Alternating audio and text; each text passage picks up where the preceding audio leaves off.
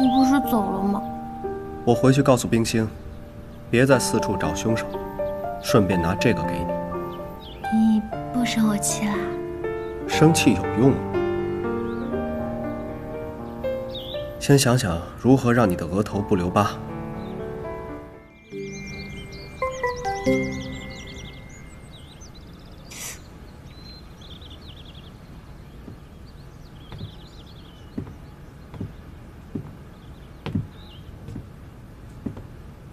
伤口还疼吗？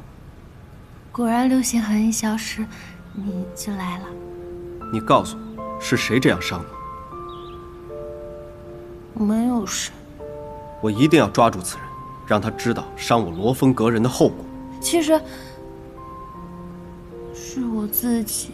你，你为何这么做？因为额头上的流星痕很丑嘛，会把人吓跑，而且怎么变都变不掉。我越看越讨厌，越想越心烦，干脆一不做二不休，割了他。胡闹！额头是仙妖界天眼所在，你额上的流星痕只是有碍你的美貌，你如此作为只会伤害自身灵气，真是太不知轻重了。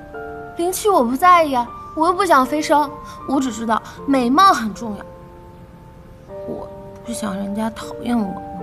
你是不是傻了？谁会因为这讨厌你？对，我傻，我笨。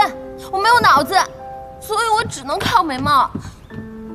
要是连美貌都没有了，我还剩什么？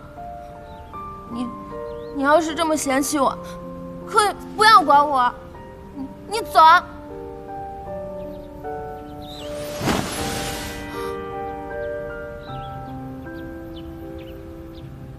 每次都是这样，说走就走。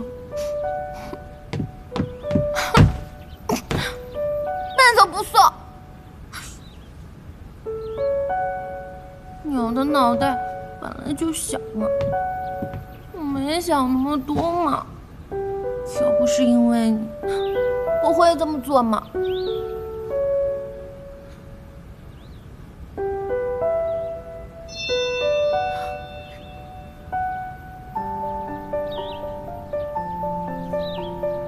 你不是走了吗？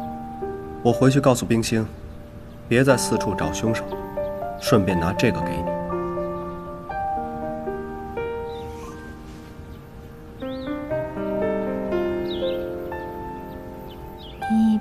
生我气啦？生气有用吗？先想想如何让你的额头不留疤。